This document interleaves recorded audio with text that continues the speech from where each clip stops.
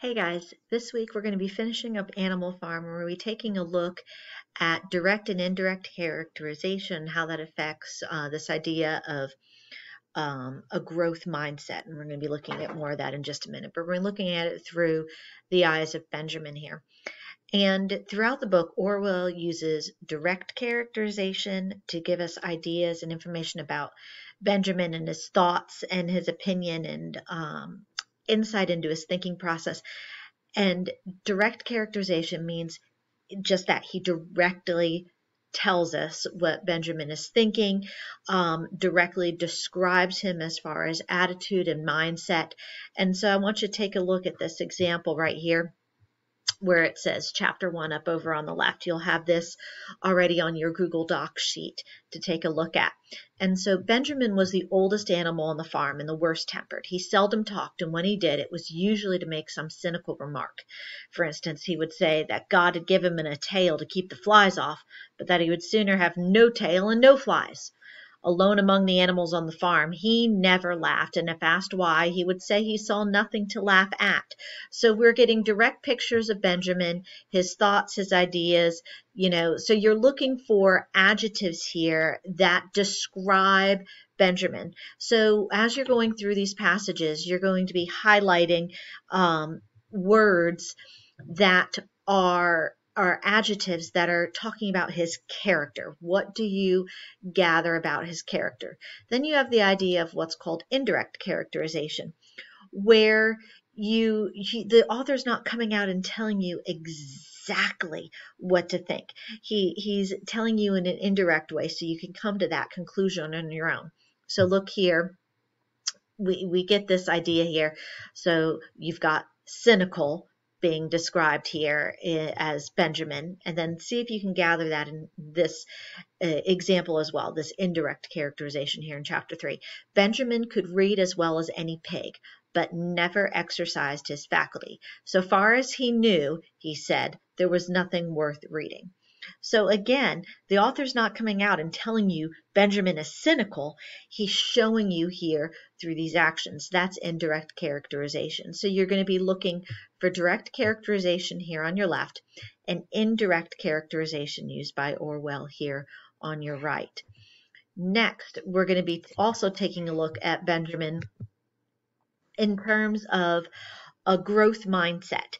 A growth mindset is key factor in uh, success and happiness for a person. Can you grow? Can you change? Can you learn? And this is a skill that is not necessarily innate in us. This is a skill that we can learn. And, and so we're going to be taking a look at the fixed mindset of Benjamin and then what is a growth mindset. We've got a picture of a wise owl above there. So if you believe your your talents can be developed and you're working through your to your goals and you're coming up with solutions and you want input from others to improve, that is the growth mindset. People who have basically lost all hope, they don't participate in politics, they believe everything is out of their control. That is a fixed mindset. So here, when you look at the fixed mindset, would be my vote doesn't matter. A growth mindset would be yes, my vote does matter and it can make a difference. And then here, uh, fixed mindset I don't like losing. And then here, I don't fear failure. So I'm rooting for my candidate, whether they win or not. So, in other words, the political scene, you're you're not stuck in this cycle of hopelessness. You're seeing that you know good things can happen and do happen with the growth mindset. So now we're going to be taking here Benjamin's fixed political mindset, and then we're going to be changing it to a growth mindset. How can we change his mind? So, in other words, Old Benjamin the donkey seemed quite unchanged since the rebellion. He did his work in the same slow, obstinate way as he had done in Jones's time, never shirking and never volunteering for extra work either. So we've got first off direct and indirect characterization here, talking about the fact that he is unchanged, he's obstinate.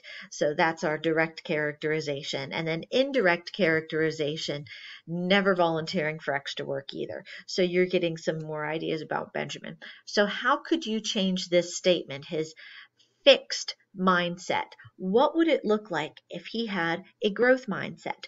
What would his thought pattern be? What would he be saying? What would the author be saying about him if Benjamin achieved that growth mindset? So that's what you're going to be doing for those three here. And the final piece of the growth mindset versus fixed mindset is coming from famous people in, in history. You'll see there's one, two, three, four, five, six, seven, eight, nine, ten quotes here and they're from all eras of history, from uh, before Christ, uh, for Pericles, to Bernie Sanders at the last election. So there's all different range of political and historical figures talking either in a growth mindset or a fixed mindset. And your job, these, uh, uh, sorry, they'll go back. When you are on the slide, you're going to move the quotes the column where you think it belongs. Is this an example of what a growth mindset would be, or is this an example of a fixed mindset? So you'll move those to the correct column.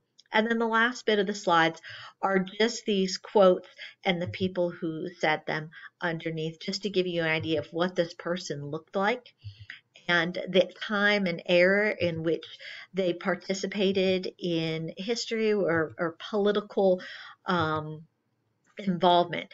So it just gives you a general overview for that. So take a look this week at Benjamin direct and indirect characterization and fixed versus growth mindset.